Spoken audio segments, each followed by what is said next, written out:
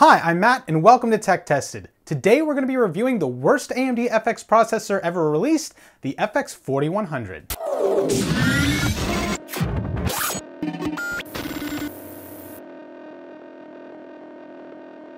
So to give you a brief history of the FX lineup, when it was released, the performance was lackluster at best. The single core performance was lacking quite a bit and due to the modular design and Windows scheduling, the multi-core performance was lacking quite a bit as well. Later, Windows would fix the scheduling issue, but by then the damage had already been done. And to give you guys a better idea of how the module design works in contrast to a traditional CPU core, essentially you have one floating point unit that is divided between two CPU cores. Meaning that on our FX 4100, we have two full cores and two partial cores. To look at it another way, it's kind of like a mechanical hyperthreading, although none of this is really mechanical, it's just at the hardware level as opposed to the software level. Another way to look at it is kind of like a motorcycle with a sidecar. Yes, the sidecar serves a purpose, but it ain't gonna make you go any faster.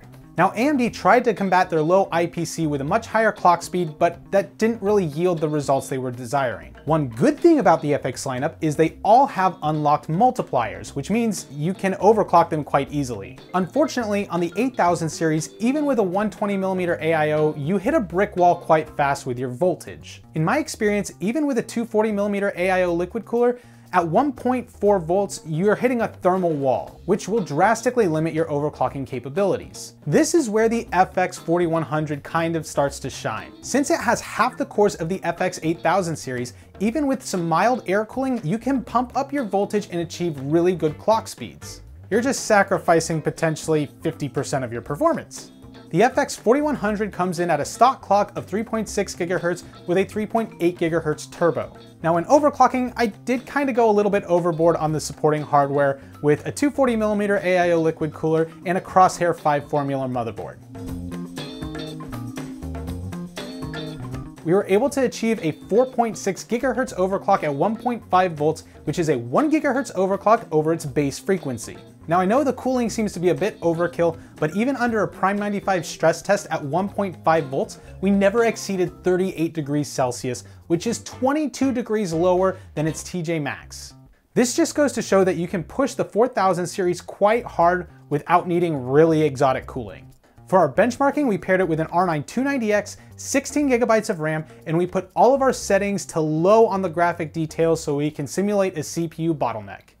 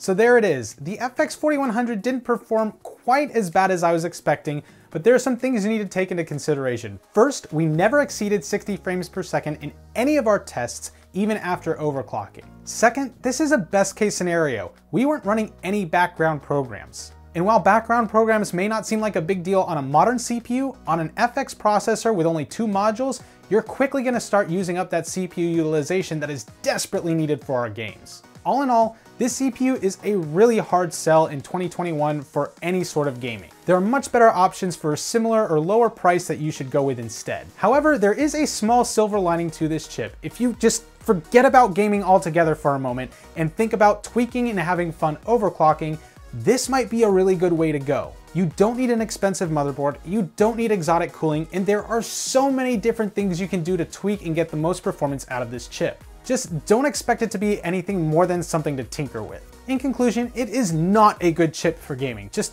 forget about it for that reason. But for tweaking, I know I'm gonna have fun with it well past the creation and benchmarks of this video, and maybe if you guys watch our live streams on Saturdays, you'll get to see it again in the future. As always, thanks for watching. Don't forget to hit like and subscribe, follow us on our social media platforms, and check out our Discord and our website so you can pick yourself up some tech tested merch. Also, we have mugs. Hmm. Oh, it's dirty.